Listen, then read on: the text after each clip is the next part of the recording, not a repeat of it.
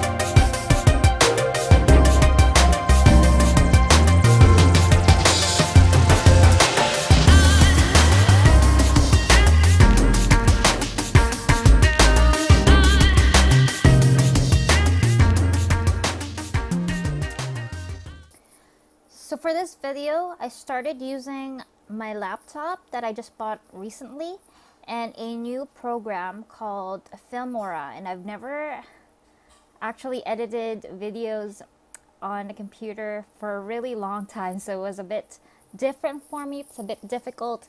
It was hard to find a program that that is easy for me to um, to use and understand.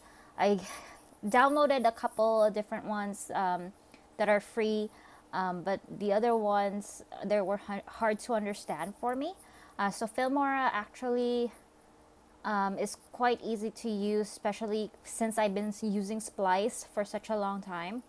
Um, so that's why the editing and the look of the whole video is a lot different than what it usually is. So what do you guys think? Which one is better? Is it Filmora or is it Splice?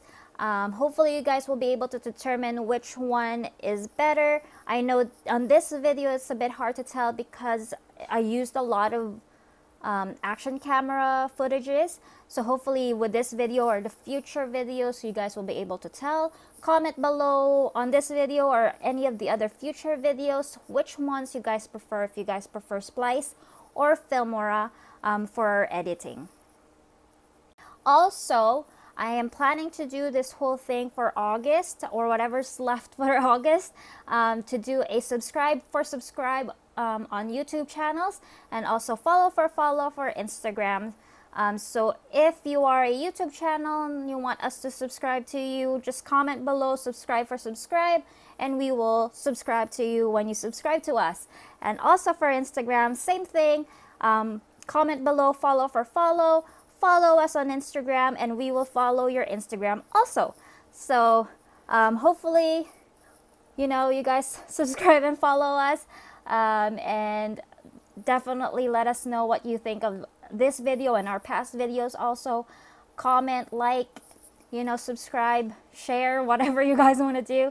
Um, but let, uh, let us know if you guys like it though. Thank you. Bye